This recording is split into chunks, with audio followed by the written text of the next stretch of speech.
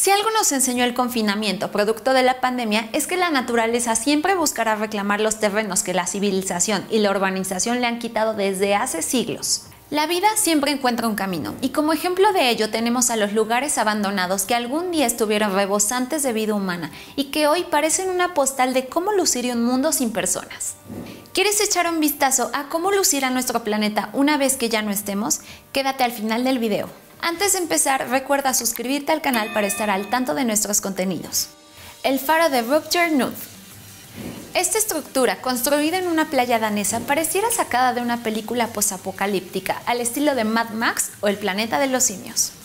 El faro que alguna vez sirvió para guiar a buen puerto a las embarcaciones pesqueras y comerciantes hoy parece casi completamente sepultado por la arena. De acuerdo con estimaciones, el faro se sepulta cada vez más, en función de metro y medio anualmente desde que se abandonó en 2002. Este es un caso en el que vemos cómo expresiones como las arenas del tiempo cobran vida de manera literal. Y aunque sea por un breve instante, tenemos una estampa de cómo podría lucir la Tierra después de un evento apocalíptico, o cuando tengamos o decidamos abandonarla para siempre. Fábrica de gases letales.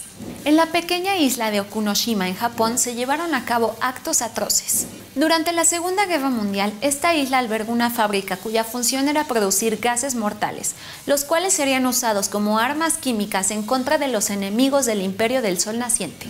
Cabe señalar que esta fábrica estaba ubicada dentro de la prefectura de Hiroshima, área que sería marcada como objetivo de una de las únicas dos bombas nucleares detonadas en tiempos de guerra.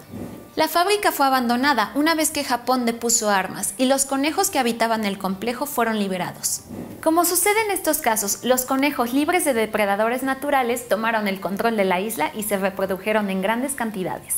Ahora, lo que fuera una fábrica de muerte es un lugar rebosante de vida, tanto de las plantas que se adueñaron de la isla como las colonias de conejos, descendientes de estos primeros ejemplares que fueron traídos para experimentar sobre ellos.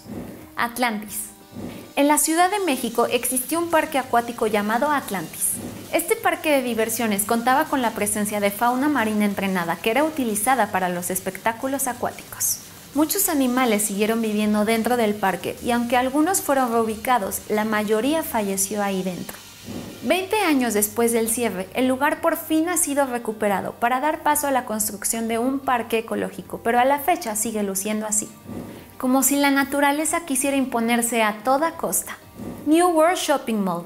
Un centro comercial suele ser considerado como uno de los edificios emblema del consumismo y del capitalismo depredador que tanto daño le han hecho al medio ambiente.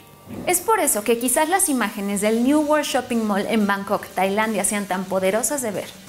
El edificio que antes albergaba docenas de comercios fue cerrado en 1997 y dos años después sufrió de una inundación. Debido a esto se originó una plaga de mosquitos y para combatirlos los locales decidieron introducir una colonia de tilapias, un tipo de pez comestible.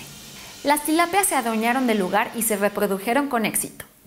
Ahora el edificio abandonado no solo es hogar de estos peces, sino de la vegetación que lenta pero segura se ha abierto paso entre los locales y las escaleras del centro comercial. Una escena digna de una película o de un juego de video. ¿Conoces otros ejemplos de edificios o pueblos abandonados que la naturaleza quiso reclamar?